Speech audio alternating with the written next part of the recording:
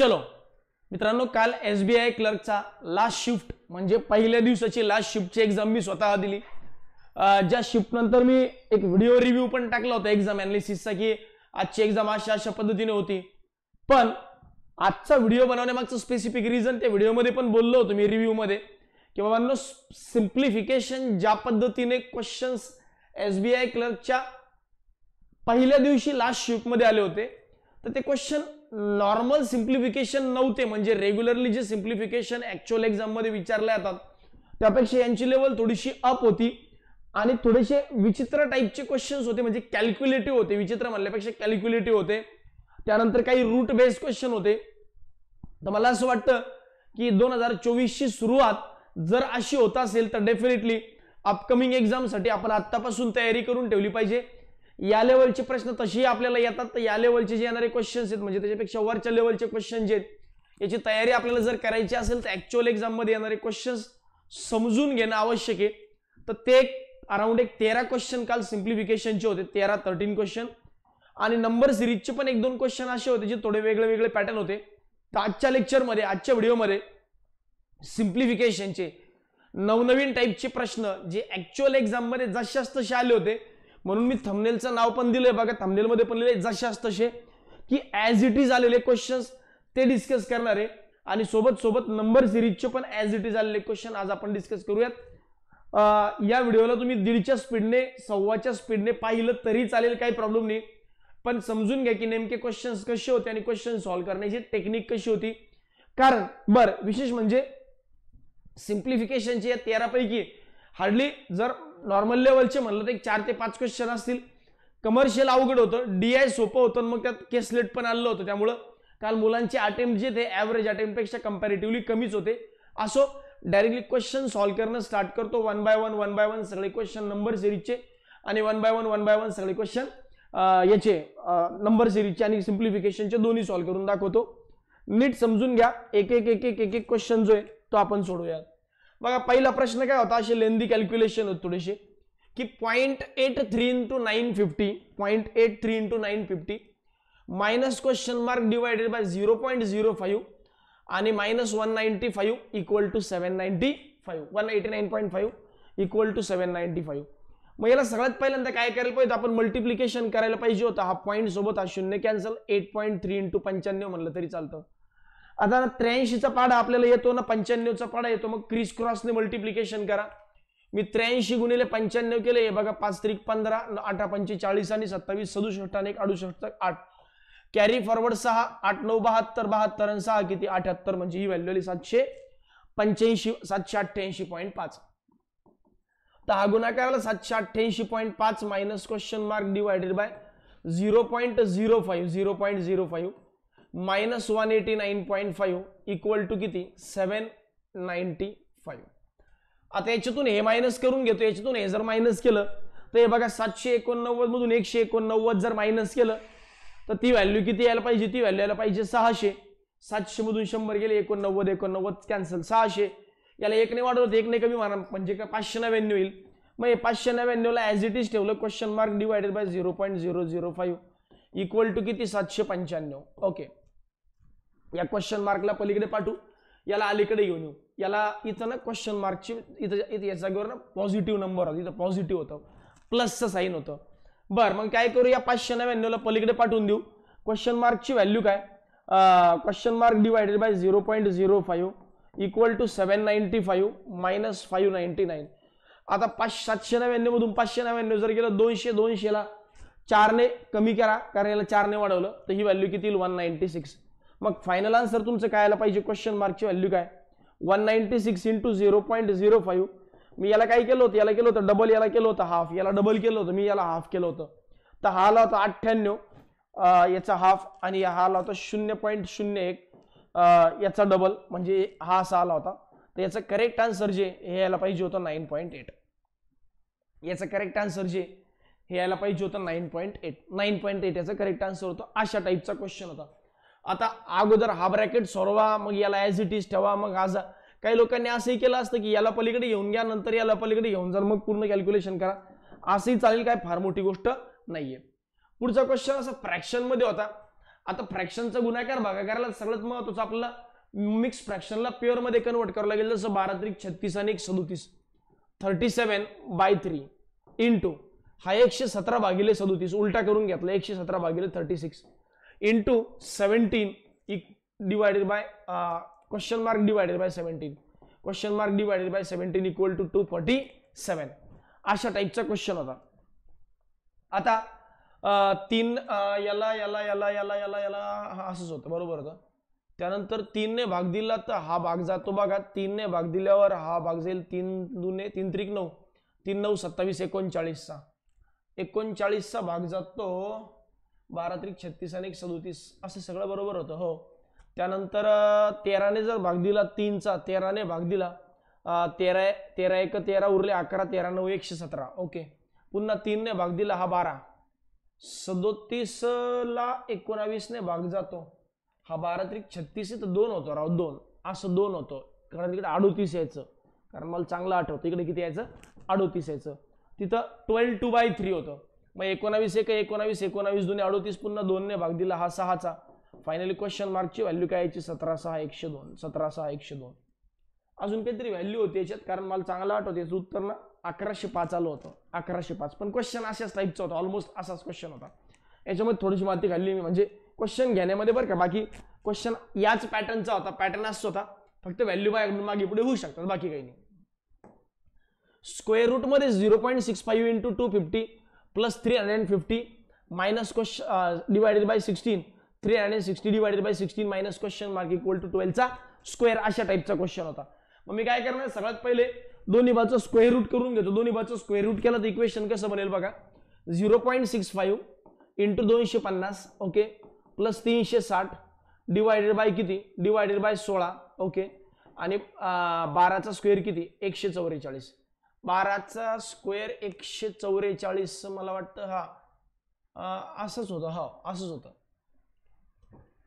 Square root root root root root. इकडं एक square नव्हता फक्त बारा होतं बारा होतं. म्हणजे मी काय केलं मग दोन्हीचा स्क्वेअर करून घेतला. याचाही स्क्वेअर केला आणि याचाही स्क्वेअर केला. हा स्क्वेअर स्क्वेअर रूट काय झाला? कॅन्सल. आणि बाराचा स्क्वेअर एकशे चौवेचाळीस. ओके असं होतं. पॉईंट कॅन्सल पंचवीस पाचशे सव्वाशे कॅरी फॉरवर्ड बारा पंचवीस सहा दीडशे आणि बारा किती? एकशे बासष्ट म्हणजे एकशे बासष्ट पॉईंट पाच. सोळाने भाग दिला सोळा दुने बत्तीस उरले किती चार? सोळा दुने बत्तीस सोळा पंच्याऐंशी. मायनस क्वेश्चन मार्क राहिले. Minus question mark equal to एकशे चौवेचाळीस. ओके या दोघांची जी बेरीज मिळून यायची यायची एकशे चौसष्ट आणि एकशे पासष्ट. या अडीच इकडे टाकले एकशे पासष्ट आणि वीस एकशे पंच्याऐंशी. एकशे पंच्याऐंशीमधून किती मायनस केलं की एकशे चौवेचाळीस? असा क्वेश्चन मार्क होता. तर करेक्ट आन्सर यायचं याचं फॉर्टी वन आणि असं ऑप्शन पण होतं. करेक्ट आन्सर यायचं फॉर्टी वन असं ऑप्शन पण होतं वन फॉर्टी फॉर्टी वन असा होता तीन नंबरचा क्वेश्चन त्यानंतर थर्ड क्वेश्चन यात हा जो चौथा क्वेश्चन आहे हा बऱ्याच जणांना जमला नाही. कारण याचं उत्तर स्क्वेअर रूटमध्ये यायचं रूटमध्ये यायचं. तर मुलं इथं कन्फ्यूज झाले की बाबा असं कसं उत्तर आलं? पण याचं उत्तर यायचं एटीन रूट थ्री आन्सर यायचं बघायचं. हा दोन रूट तीनला मी ॲज इट इज ठेवतो इंटू सत्तावीसला पण ॲज इट इज ठेवतो. डिवायडेड बाय क्वेश्चन मार्क हा जो क्यूब आहे हा आठचा आहे. आणि हा जो पाच आहे याला पलीकडे जाऊन मायनस होईल. मग two root three into twenty seven divided by question mark equal to किती? तीन. तीनने भाग दिला हा नऊचा. हा नऊ जुनी किती? अठरा. क्वेश्चन मार्कची व्हॅल्यू काय? एटीन रूट थ्री अशी यायची. क्वेश्चन मार्कची व्हॅल्यू काय? एटीन रूट थ्री अशा पद्धतीने यायची. तर अशा पद्धतीचा चौथा क्वेश्चन होता. हा क्वेश्चन कम्पॅरेटिव्हली सोपा होता पण एटीन रूट थ्री आल्यामुळे बरेच जण इथं कन्फ्यूज झाले. काही लोकांनी ते नंबरमध्ये घेऊन टाकले त्याच्यात आणखी जास्त गोळ झाला. तसं करत बसू नका. ऑप्शन पाहून घ्या. ऑप्शन सोपे होते त्याचे त्यानंतर हा एक्केचाळीस त्रिक एकशे तेवीस. एक्केचाळीस त्रिक एकशे तेवीस. एकशे तेवीस plus question mark equal to साडेआठ. डिवायडेड बाय साडेआठ इक्वल टू अठरा असं होतं. तिरपा गुणाकार जर केला तर साडेआठ गुणिले अठरा म्हणजे नऊ गुणिले सतरा. नऊ गुणिले सतरा. सतरा नऊ एकशे त्रेपन्न. मग काय व्हायचं? एकशे तेवीस प्लस क्वेश्चन मार्क तिरपा गुणाकार केला एकशे त्रेपन्न. क्वेश्चन मार्कमध्ये किती मिळवलं? एक ते एकशे तेवीसमध्ये किती मिळवलं की एकशे त्रेपन्न? तीस. तर याचं जे करेक्ट आन्सर यायचं याचं करेक्ट आन्सर यायचं बघा थर्टी हा एकदम चिल्लर क्वेश्चन होता. मी म्हणलं ना जे तीन चार क्वेश्चन जे चिल्लर होते त्यातला एक हा होता. त्यानंतर फाय बाय सिक्स हा पण सोपा होता. इंटू साडेसातशे साडेसातशे. स्क्वेअर रूटमध्ये पंचवीस म्हणजे पाच. आता डिवायडेड बाय एक्स आहे ना divided by X equal to आठ त्रिक चोवीस आणि एक पंचवीस भागिले तीन पंचवीस भागिले तीन असं होतं. मग मी सगळे काटाकाटी अशी करून घेतली. पाच पाच कॅन्सल झाला पंचवीसने भाग दिला हा तीसचा. पुन्हा सहाने तीसला भाग दिला हा पाचचा. मग क्वेश्चन मार्क पाच भागिले क्वेश्चन मार्क इक्वल टू काय? वन बाय थ्री तिरपा गुणाकार जर केला तर एकशे व्हॅल्यू काय यायची? एक्स गुणले पाच गुणले तीन. पाच गुणले तीन म्हणजे पंधरा यायची.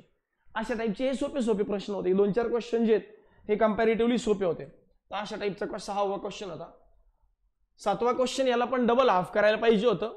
याचे जर डबल केले असते साडेचारशे आणि याचे हाफ केले असते शून्य पॉईंट दोन. भागिले क्वेश्चन मार्क इक्वल टू साडे हा. त्यानंतर या साडेचारशेची दुप्पट किती? नव्वद नव्वद. कारण की हा पॉईंट शून्य सोबत कॅन्सल झाला. भागिले क्वेश्चन मार्क इक्वल टू सहा. क्वेश्चन मार्कची व्हॅल्यू काय? नव्वद भागिले सहा. म्हणजे याचा आन्सर सुद्धा पंधरा यायचं. याचा आन्सर सुद्धा पंधरा यायचं. असा एक सिम्प्लिफिकेशनचा क्वेश्चन होता. म्हणजे असं नाही की बाबा सगळेच खूप अवघड होते पण काही क्वेश्चन थोडेसे वेगळ्या टाईपचे होते जे नॉर्मली आपण एक्सपेक्ट करत नाही. आता हा प्रश्न बघा काय होता. Zero point three five divided by zero point zero seven into eight. Minus one point five into seven point two. Double हाफने तर बरेच क्वेश्चन सुटण्यासारखे होते. म्हणजे डबल हाफची जी टेक्निक आपण वापरतो त्या टेक्निकने तर बरेच क्वेश्चन सुटत होते. हा दोन पॉईंट नंतर दोन डिजिट दोन डिजिट कॅन्सल कॅन्सल सात एक सात सात पाचशे पस्तीस डायरेक्ट आठ गुणिले पाच किती? चाळीस. त्यानंतर याला डबल करतो. याला डबल करतो. हा होईल तीन याला हाफ करतो. हा येईल एवढा. मग छत्तीस त्रिक किती? एकशे आठ एकशे आठ म्हणजे दहा पॉईंट आठ दहा पॉईंट आठ. मग चाळीसमधून दहा गेले तीस तीसमधून पॉईंट दो आठ गेले तर उत्तर येईल पॉईंट दोन चाळीसमधून दहा गेले तीस तीसमधून पॉईंट दोन जर मायनस पॉईंट आठ जर मायनस केले तर ही व्हॅल्यू यायची एकोणतीस पॉईंट दोन आणि अशी ऑप्शन डेफिनेटली होतेच. काहीच प्रॉब्लेम नाही. त्यानंतर हा एक क्वेश्चन होता इथं काही लोक थोडे कन्फ्यूज झाले की स्क्वेअर निघत नाही. पण हा एक चिल्लर होता डबल हाफची टेक्निक इथंही वापरली असं चाललं असतं. हा रूट एकशे अठ्ठावीस आहे ना हा रूट एकशे अठ्ठावीसचा गुणाकार करत बसायचा नव्हता. काय करायचं होतं? एकशे अठ्ठावीसशे हाफ करा चौसष्ट याला डबल करा सोळा. म्हणजे परफेक्ट स्क्वेअर नंबर तयार झाले. त्यानंतर हा जो नंबर होता तशी तशी दोन्ही परफेक्ट स्क्वेअर नंबर होते परफेक्ट स्क्वेअर होते. बरं. मग मी काय केलं की एकशे अठ्ठावीसला हाफ केलं चौसष्ट आठला डबल केलं सोळा. चौसष्ट कोणाचा स्क्वेअर आहे? आठचा सोळा कोणाचा स्क्वेअर आहे? चारचा. सोळा कोणाचा स्क्वेअर आहे? चारचा. सोळा कुणाचा स्क्वेअर आहे चारचा नऊ कुणाचा स्क्वेअर आहे तीनचा हे दोन दोन कॅन्सल व्हायचे. तर याचं करेक्ट आन्सर यायचं बघा eight by three eight by three ऑप्शनमध्ये नव्हतं ऑप्शनमध्ये होतं टू टू बाय थ्री बेत्रिक सहा सहा दोन आठ. टू टू बाय थ्री अशा टाईपचं ऑप्शन ऑप्शनमध्ये होतं. हे ऑप्शन नव्हतं एट बाय थ्री ऑप्शनमध्ये नव्हतं. सुरुवातीला मी पण चेक केलं आणि ऑप्शन ई e होतं ई ऑप्शन होते. असं मी पण चेक करत बसलो. ऑप्शनच सापडे ना आणि एक तर काय व्हायचं की ते दोन दोन लँग्वेज असल्यामुळे ना खूप स्क्रोलिंग करायमध्ये पण खूप टाईम गेला. त्यात माझा टाइम तर खूप गेला. कारण एक तर खूप दिवसापासून ऑनलाईन त्याची जास्त सवय नाही आहे आणि ते गुजराती लँग्वेज घेतलं होतं मी मुद्दा म्हणून मी स्वतःचा फॉर्म गुजरातमधून भरला आहे की बाबा आपल्या लेकरांना इकडे कॉम्पिटिशन नको. म्हणजे आपल्यामुळं आपल्याला महाराष्ट्रातलं एखादं लेकरू फेल व्हायला नको. म्हणून मी मुद्दा म्हणून फॉर्म गुजरातमध्ये भरला आहे सो दॅट तिकडचं कम्पिटिशनमुळे आपल्याला तेवढं जास्त हार होऊ नये. ठीक आहे? पुढचा प्रश्न असा होता. तर फाईव्ह रूट टू हा हा असा फाईव्ह रूट टू असा क्वेश्चन होता. याचा स्क्वेअर मायनस एकशे ऐंशी. मायनस एकशे ऐंशी. आणि हा जो पूर्ण ब्रॅकेट होता याला ब्रॅकेटला गुणायचं होतं निगेटिव्ह साडेआठने साडेआठने. मी काय केलं? पाचचा स्क्वेअर पंचवीस आणि दोनचा स्क्वेअर दोन. रूट दोनला जर बाहेर काढलं पंचवीस आणि हा दोन. त्यानंतर मायनस एकशे ऐंशी मायनस एकशे ऐंशी. ओके गुणिले साडेआठ. गुणिले निगेटिव्ह साडेआठ होतं. मला चांगलं आठवतं. निगेटिव्ह साडेआठ. हा पन्नास आहे हा एकशे ऐंशी आहे. एकशे ऐंशीमधून पन्नास गेले तर निगेटिव्ह एकशे तीस आन्सर येईल. तर हा निगेटिव्ह एकशे तीस आणि हा साडेआठ निगेटिव्ह साडेआठ निगेटिव्ह साडेआठ. तर हा निगेटिव्ह निगेटिव्ह तसंही काय होणार आहे? पॉझिटिव्हच उत्तर येणार आहे. हा पॉईंट सोबत शून्य कॅन्सल तेरा पाचशे पासष्ट. त्यानंतर सहा तेरा आठ एकशे एकशे चार एकशे सहा आणि चार किती? एकशे दहा. तर याचं करेक्ट आन्सर आहे याचं वन वन झिरो फाईव्ह अशा टाईपचा क्वेश्चन होता. इव्हन मी याला पाड्यात पण पाहण्याचा प्रयत्न केला होता. पाड्यात कसं पाहायचं? की बाबा जे पण उत्तर येईल त्याला साडेआठने आहे म्हणजे सतराच्या पाड्यात पण दोन ऑप्शन सतराच्या पाड्यात. मी चांगला मला चांगला आठवतं. सतराशे पाण्यात दोन ऑप्शन होते. मग रिस्क घेऊ नको मला. जाऊ दे. ओके कॅल्क्युलेशन करायला काही फारवर्ड वेळ लागण्यासारखा नव्हता. असा होता दहा नंबरचा क्वेश्चन त्यानंतर हा होता स्क्वेअर रूट ऑफ दोनशे छप्पन म्हणजे सोळाचा स्क्वेअर प्लस हा किती? पाचशे बारा. हा किती? पाचशे बारा. ओके त्यानंतर क्वेश्चन पाच गुणिले स्क्वेअर शहाण्णव. Divided by question mark equal to पाचशे बावन्न. आता याचा अर्थ असा असतो की हा ब्रॅकेट वेगळा आहे हा ब्रॅकेट वेगळा आहे हा ब्रॅकेट वेगळा आहे. तुम्ही असं नाही करू शकत. डायरेक्ट क्वेश्चन मार्क तिकडं. तुम्ही स्टेप बाय स्टेप नंबर पलीकडे येऊन जा. सगळ्यात पहिले या दोघांची ॲडिशन केली होती. मी पाचशे अठ्ठावीस आली होती. मग पाच गुणिले शहाण्णव भागिले क्वेश्चन मार्क इक्वल टू पाचशे बावन्न मायनस पाचशे अठ्ठावीस. पाचशे बावन्न मायनस पाचशे अठ्ठावीस. आता पाचशे बावन्न मधून पाचशे अठ्ठावीस मायनस केलं होतं हा भाग यायचा चोवीसचा. गुन्हा सबस्ट्रॅक्शन मग चोवीसने भाग दिला पुन्हा चोवीस शोक शहाण्णव. फायनली क्वेश्चन मार्कची व्हॅल्यू काय? पाच गुणिले चार वीस. अशाच अशा जशाच तसा प्रश्न होता. ठीक आहे. त्यानंतर पुढचा क्वेश्चन काय होता? बघा चारशे चौऱ्याऐंशी. चारशे चौऱ्याऐंशी भागिले क्वेश्चन मार्कचा स्क्वेअर आता याला पण मी पाड्यात पाहण्याचा प्रयत्न केला होता कारण मला माहिती होतं चारशे चौऱ्याऐंशी कुणाच्या पाड्यात आहे? तिथं अकराच्या पाड्यात आहे म्हणजे बावीसचा स्क्वेअर आहे.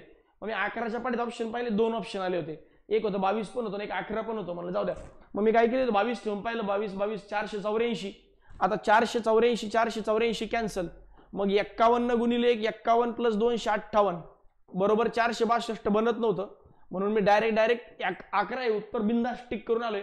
मी ऑप्शन पण पाहत नाही बसलो मी डायरेक्ट अकरा हे उत्तर टिक करून आलोय. मी दुसरे ऑप्शन पण नाही पाहिले कारण मला म्हणजे पाण्यात जाणार भाग जाणार ऑप्शन पाहिजे होतं. मग जर मी तर बावीस ठेवलं बावीस बावीस दोनशे चौऱ्याऐंशी चारशे चौऱ्याऐंशी चारशे चौऱ्याऐंशी चारशे चौऱ्याऐंशी कॅन्सल म्हणजे उरणारी एक. एक गुणिले एक्कावन्न एक्कावन्न एक्कावन्न प्लस दोनशे अठ्ठावन्न मिळून आला असतं तीनशे नऊ तीनशे नऊ नव्हतं इथं चारशे बासष्ट होतं. म्हणजे इथं बावीसपेक्षा लहान व्हॅल्यू पाहिजे होती म्हणजे अकरा घेऊन टाकून टिक करून आलो. बाय मेथड करायचं तर याला आज ॲज इट इज ठेवा. याला पलीकडे पाठवून द्या. मग चारशे चौऱ्याऐंशी गुणिले एक्कावन्न भागिले क्वेश्चन मार्कचा स्क्वेअर इक्वल टू दोघांमधला जो डिफरन्स आहे दोघांमधला डिफरन्स हा दोनशे चारचा आहे दोनशे चारचा. एक्कावन्न एक्कावन्न एक्कावन्न एक्क चार दोनशे चार.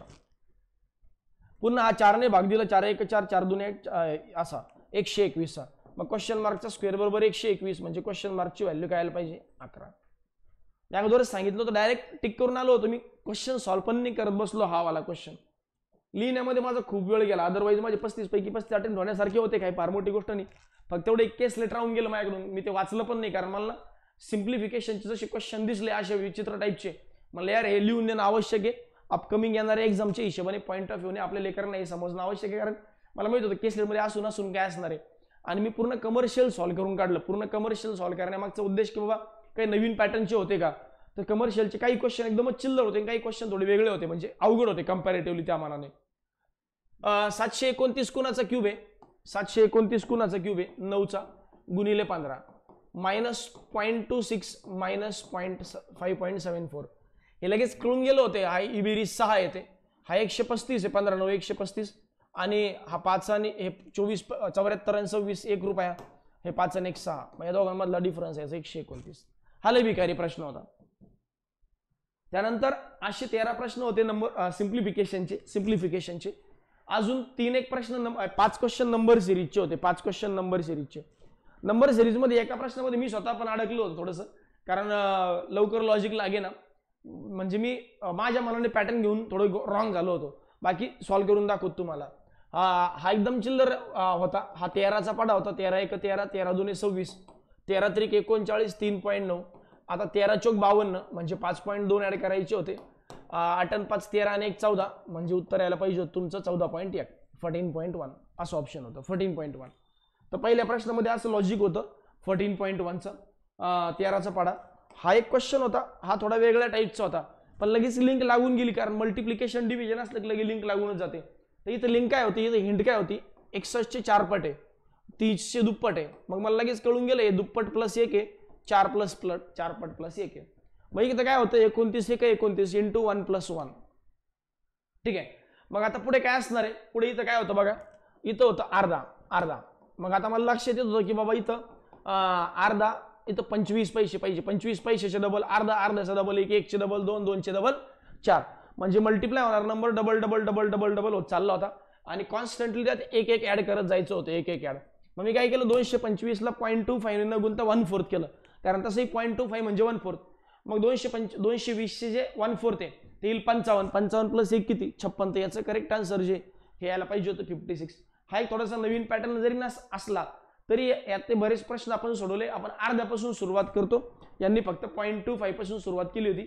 या टाईपचा एक क्वेश्चन मी प्रीच्या एक्झाममध्ये डिस्कशन सेशनमध्ये डेफिनेटली घेतला आहे चांगला आठवतं मला. पॉईंट टू फाईव्हवाला बरं. त्यानंतर या टाईपचा एक क्वेश्चन होता. हा याच्यामध्ये मी थोडंसं अडकलो होतो. यात माझा थोडासा एक एक एक दीड मिनिटाचा वेळ गेला. इथं एक हजार एक होतं ना तर मी इथं नऊशे नव्याण्णव लिहायचो. मग मी नऊशे नव्याण्णव लिहिलं माझं उत्तरच मॅच होत नव्हतं. मी म्हणजे म्हणजे लॉजिक लागलं होतं मला की क्यूब आहे स्क्वेअर आहे क्यूब आहे स्क्वेअर आहे पण पॅटर्नच बसते ना मग क्वेश्चन म्हणजे आन्सरच आहे ना मग नंतर मला लक्षात आलं की नऊशे नव्याण्णव आणि एक हजार एकचा डिफरन्स आहे. इकडे बरोबर ऐंशीचा डिफरन्स लिहिला होता. त्यानंतर मग मी इकडे अंदाज लावून घेतला. नऊचा दहाचा स्क्वेअर आहे दहाचा क्यूब प्लस एक. नऊचा स्क्वेअर मायनस एक. त्यानंतर इकडं हा जो डिफरन्स होता हा डिफरन्स होता बघा आठचा क्यूब पाचशे बारा प्लस एक पाचशे तेरा. त्यानंतर इकडे कितीचा डिफरन्स होता? इथं इकडे डिफरन्स होता अठ्ठेचाळीसने वाढला. मग इकडे दोनशे सतराने वाढायला पाहिजे होता दोनशे सतराने. का? कारण की हा दहाचा क्यूब प्लस एक नऊ दहाचा क्यूब बघा लॉजिक बघा दहाचा क्यूब प्लस एक नऊचा स्क्वेअर मायनस एक. आठचा क्यूब प्लस एक सातचा स्क्वेअर मायनस एक आणि इथं सहाचा क्यूब प्लस एक. म्हणजे plus one minus one plus one minus one square cube square cube अशा टाईपचा पॅटर्न बसत चालला होता. असं होतं पुढच्या टाईपचा क्वेश्चन म्हणजे हा वाला क्वेश्चन इथं माझे दीड मिनिटं जवळपास गेले होते या या क्वेश्चनने जास्त टाईम काढला. त्यानंतर हे एकदम चिल्लर होतं इथं लगेच कळून गेलं होतं हे तीनशे दहा पटे असं उलटं केलं मी तिकडून नव्हतो आलो इकडून आलो होतो. इंटू किती पटे? आठ पटे. म्हणजे डेफिनेटली इकडे सहा असेल आणि इकडे किती असेल? चार. मग चोवीस सहा एकशे चौदे चौवेचाळीस म्हणजे चौदाशे चाळीस. आणि चौदा चौक छप्पन्न तर येतच. म्हणजे पॅटर्न तोच होता. आता जर असं उलटं गेलो असतं डिवायडेड बाय चार डिवायडेड बाय सहा डिवायडेड बाय आठ डिवायडेड बाय दहा. पण डिव्हिजनपेक्षा मल्टिप्लिकेशनचा पॅटर्न कधी सोपा जातो. म्हणून असं उलटं आलं तरी चांगलं. बरं. पुढे एक क्वेश्चन होता हा वाला हा डबल डिफरन्स काढून येत होता. हा डबल डिफरन्स एकशे छप्पन्नवरून एकशे चौतीस एकशे बत्तीस एकशे बावीस झाला. म्हणजे चौतीसने कमी झाला होता. त्यानंतर इथं वाढताना हा सात हा दोन दोन दोन दोन दोन दोन दोन या कुष्ट गडबड आहे. हा एकशे सत्त्याण्णव होता सत्त्याण्णव होता फक्त. तेच तर म्हणलं असं नाही होतं. आता हा बावीस आणि तो सात एकोणतीस बावीस आणि तीन पंचवीसने कमी झाला होता पंचवीसने. चौतीसने कमी पंचवीसने कमी. त्यानंतर हा सतराने कमी आणि हा दहाने कमी. मग माझ्या लक्षात आलं की यार पुन्हा काही लॉजिकच लागे ना. मग मी काय केलं डबल डिफरन्स घेतला होता. डबल डिफरन्स जेव्हा घेतला तेव्हा लक्षात आलं की इकडे नऊने कमी झाला इकडे आठने कमी झाला इकडे सातने कमी झाला इकडे सहाने कमी करा. मग दहा मायनस सहा किती? चार. आणि याचं उत्तर काय यायला पाहिजे होतं? याचं उत्तर यायला पाहिजे होतं सहासष्ट. याचं उत्तर काय यायला पाहिजे होतं? सहासष्ट. डबल डिफरन्स नऊ आठ सात सहाचा होता. म्हणजे चिल्लर होतं. या नंबर सिरीजमुळं बऱ्यापैकी मुलांचे अटेम्प्ट वाढले. अदरवाईज मग डिफिकल्ट आले असते. एक दोन तीन चार पाच. असे संपले नंबर सिरीज पण. ओके तर या टाईपचे क्वेश्चन जे सिम्प्लिफिकेशन आणि नंबर सिरीजचे ॲज इट इज क्वेश्चन्स विचारले होते. इवन कमर्शियलचे क्वेश्चन सुद्धा मी डिस्कस करणार आहे. कमर्शियलचे क्वेश्चन पण डेफिनेटली काल जे एक्झाम माझ्या एक्झाममध्ये जे जे क्वेश्चन्स मला आठवतात ते ते मी लिहून आणलेत. फक्त झालं असं की हा हे क्वेश्चन लिहिण्यामध्ये माझा फॉर्म्युला लिहून गेला. कारण मला ना या टाईपचे क्वेश्चन म्हणलं यार नॉर्मली काय कमर्शियल तर आपण नॉर्मली सॉल्व्ह करतोच. पण सिम्प्लिफिकेशनवर मुलं खूप डिपेंड असतात की यार नाही फिक्स मार्क मिळून देणारा टॉपिक आहे. आणि मग आपण सिम्प्लिफिकेशन सॉल्व्ह करून येऊया. आणि जर सिम्प्लिफिकेशन आपल्या एक्झाममध्ये असं गेम करत असेल तर मग सिम्प्लिफिकेशनच्या हातातले मार्क पोरांचे निघून जातील. म्हणून मी सिम्प्लिफिकेशन लिहिण्यामध्ये खूप वेळ घालवला काल. रिझनिंगमध्ये बघितलं तर रिझनिंग चिल्लर होतं. रिझनिंगमध्ये मला लिहायचं नव्हतं. त्यामुळे ऑलमोस्ट किती तीस अटेम्प्ट झाले तीस अटेम्प्ट एकोणतीस झालेत. कारण एक फ्लोअर बेस पजल होते. माझं बसलं नाही. म्हणजे बसलं होतं पण शेवटी वेळ संपून गेला. तीन मिनटं उरले होते शेवटी. त्या तीन मिनिटात ते काही बसलंच नाही माझ्याकडं. म्हणजे बसलं पण वेळच संपून गेला. म्हणजे शेवटची कंडिशन वाचता वाचताच वेळ संपून गेला. आणि एक ते एक वर्ड पेअर हे बनवायचं होतं मिनिंगफुल वर्डवाला तर मिनिंगफुल वर्डवाला मी नॉर्मली स्किप करून टाकतो. त्यामुळे तो तीन मिनिटाचा वेळ उरूनही क्वेश्चन सॉल्व्ह नाही झाले. असो रिजनिंगची माझी तशी प्रॅक्टिस नाही आहे पण सांगण्याचा उद्देश रिजनिंग कम्पॅरेटिव्हली कालच्या एक्झाममध्ये सोपं होतं. इंग्लिशही कालच्या एक्झाममध्ये कम्पॅरेटिव्हली सोपं होतं कारण एक पॅसेज होता. पॅसेजमध्ये काय दिलं होतं की वर्ल्डचा जगातला शॉर्टेस्ट डेबद्दल इन्फॉर्मेशन दिली होती. की हा एक शॉर्टेस्ट डे म्हणून याची नोंद झाली. आणि मग त्याला पुन्हा रेफरन्स होता की मागे पण याच्यापूर्वी पण काही शॉर्टेज डे येऊन गेले. पण हा जगातला सगळ्यात शॉर्टेज डे होता. याने सगळे रेकॉर्ड तोडून टाकले. दोन हजार वीसचा एक रेकॉर्ड होता. तो पण तोडला. दोन हजार वीसचा एक दुसरा रेकॉर्ड होता. तिसऱ्या दिवशी तुटला होता. तो पण तोडला. आणि दोन हजार बावीसमध्ये हा रेकॉर्ड मग पुन्हा तो पण तुटला गेला. हे पण सांगितलं होतं. त्यानंतर शॉर्टेज डे जर झाला तर काय होऊ शकतं? सर्व्हर्स डाऊन होतं. एका चांगल्या कंपनीचं सर्व्हर डाऊन होतं. अशी इन्फॉर्मेशन दिली होती. म्हणजे इंटरनेटवर त्याचा इम्पॅक्ट पडतो. तुमच्या टाइम क्लॉकवर त्याचा इम्पॅक्ट पडतो. तुम्हाला कळतं की अरे आपल्या हातातला टाईम किती पटपट पटपट निघून चाललाय असंही एक लक्षात येतं. त्यानंतर अजून एक होतं की सगळ्यात शेवटी की याचे पॉसिबल रिझन काय काय असू शकतात की वर्ड शॉर्टेज डेचे रिझन काय काय असू शकतात. तर आपल्याकडचे आईस जे आहेत हे हळूहळू वितळत चाललंय. याचा परिणाम पर्यावरणावर दुष्परिणाम होतोय. त्यामुळं जेवढी आपल्याला घाई आहे त्याच्यापेक्षा पण पृथ्वीला घाई आहे. तर हे पण एक रिझन सांगितलं होतं. त्यानंतर पॅराजंबल होतं. पॅराजंबलमध्ये काय होतं? पॅराजंबलमध्ये एक एक आय टी सेक्टरमधले जे लोकांचे पगार वाढत आहेत तर त्याच्याबद्दल थोडंसं इन्फॉर्मेशन दिली होती. सांगे सगळ्यात पहिल्यांदा सांगितलं होतं की आय टी सेक्टरमध्ये अशा अशा पद्धतीने मागच्या दहा वर्षात असं झालंय. मग त्याच्यात सेकंड इन्फॉर्मेशन होती की एम्प्लॉईजचा पगार जो आहे हा सत्तेचाळीस पॉईंट समथिंग टक्क्याने वाढतो. तिसरं स्टेटमेंट होतं की त्याच्या उलट सीईओचा पगार तर चौदाशे टक्क्यांनी वाढला चौदा पटीने वाढला. त्याच्यानंतर त्याचं स्टेटमेंट दिलं होतं की हे कशामुळे होतं याचं रिझन दोन लाईनमध्ये दिलं होतं. आणि सगळ्यात शेवटी जे होतं ते मग कन्क्लु कन्क्लुडिंगवाला स्टेटमेंट होतं. तेही सोपं होतं. बाकी ओव्हरऑल इंग्लिश पण बऱ्यापैकी कम्पॅरेटिव्हली कालचा सोपा होता फक्त. जो सिंगल फिलर होता त्याचे स्प्रिंगलिंग वगैरे असे टाईपचे शब्द होते ते थोडे जड गेले. बाकी मग वीस पंचवीस मार्क तर आरामात मिळण्यासारखे होतेच. ठीक आहे? असो तर अशा पद्धतीचा पॅटर्न होता. बाकी आता मेन्सची सिरीज आपल्याला लवकरच चालू करायची मेन्ससाठी क्लरिकलच्या प्रीला मी कुठलंही सेशन घेतलं नाही. कारण त्यापूर्वी येसोला भरपूर सेशन घेतले होते. आय डी बी आयला भरपूर सेशन घेतले होते. त्यामुळे मला नाही वाटत तेवढी गरज पण होती. उगं तीन चार दिवसांचा वेळ राहिला होता ते तीन चार दिवसामध्ये काही केल्यापेक्षा आता मेन्सवर चांगला जोर लावूया. लवकरात लवकर अकरा तारखेला प्रीची लास्टची शिफ्ट संपेल आणि लगेच लगेच बारा तेरा तारखेपासून आपण मेन्सची सेशन जी एस बी आयच्या क्लर्कसाठी चालू करून टाकूया. ठीक आहे? चलो तो मिलते फिर. Bye bye and take care